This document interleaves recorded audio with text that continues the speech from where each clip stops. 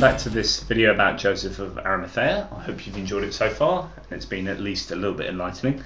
Um, but back to Joseph, uh, anyhow.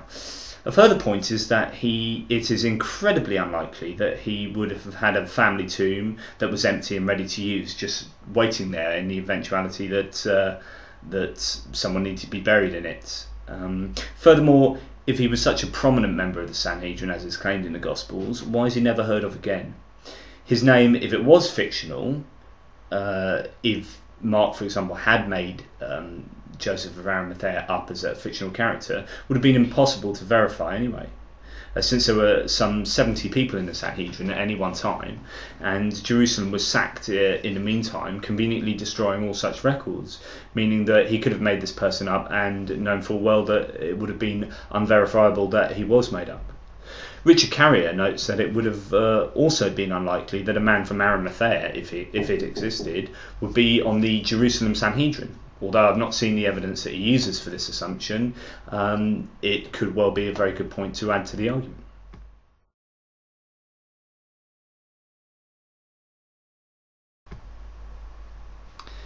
Now onto the actual tomb that Jesus was buried in. Now some commentators and archaeologists have noted that uh, the tomb itself is, is rather a dodgy concept in as much as uh, it's thought that uh, they only started using round stones on tombs in around 70 CE, uh, some 40 years after Jesus' death. So when the accounts of his burial have him buried in a tomb with a round stone, it is anachronistic. It simply wouldn't have happened at the time that Jesus was buried. Now, although this doesn't affect uh, Joseph directly, obviously the whole historicity of the, the burial comes under some kind of scrutiny when you see that something as simple as a tombstone was uh, incorrect.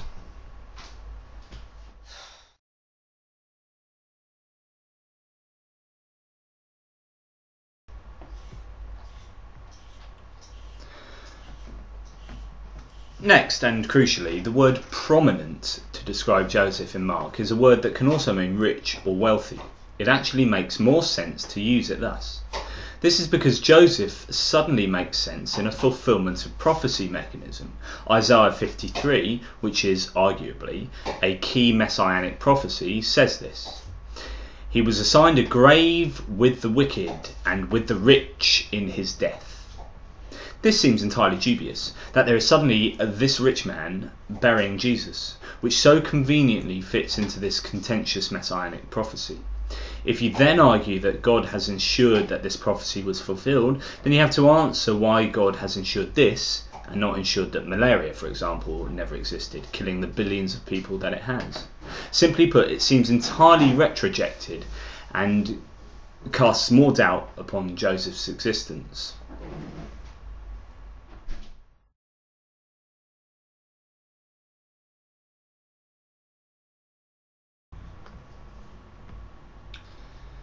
Finally, another point to invalidate claims that Joseph was a real historical figure is that he disappears off the radar immediately after his burial antics. Joseph is exactly the sort of person that the Christians would want to head up their early church rich, powerful, lots of contacts, a secret disciple, a good man. If he is all these things, then, well, he couldn't have been. If he was so good, he would have been a prominent early Christian. Instead, nothing is heard of him until he pops up in much later spurious writing with no historical evidence, the sort of legends that came later.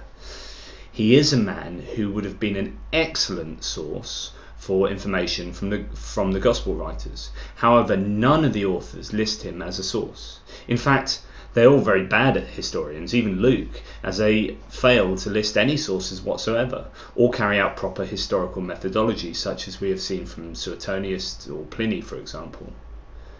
So Joseph disappears off the map when really he should have been a central figure in the early church. Yet he wasn't. Why is this? Is it because he doesn't exist? Seems fairly likely to me.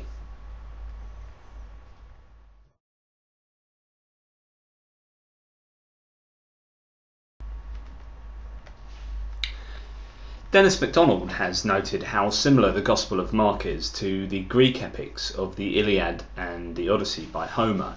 Um, as Richard Carrier says, MacDonald finds more than 11 parallels between the Gospel of Mark, Mark's account of the crucifixion, and the death of Hector. All but one of those in the same order, and that one exception is in inverted order. And 11 more parallels between Mark's account of the burial of Jesus and Homer's account of the burial of Hector, all in the same order. Likewise, his theory puts a serious damper on the historicity of Joseph of Arimathea and the burial account in Mark. Joseph is a type of Priam who rescued the body of Hector for burial in a similar way. Although this might seem like uh, stretching um, believability, I think that coincidences like this are almost too much to to ignore. When you've got 22 similarities just between the burial and um, the crucifixion narratives then you've got to say hang on here maybe mark is actually using homer as a scaffold for producing his own narrative and uh, how contrived is the gospel of mark mark when it comes to recording these events I think that uh, the gospel writers were, and particularly Mark, um, very liter- literarily aware. They they knew their literature and they used it to their advantage. And this is just another example of how um, they have done this.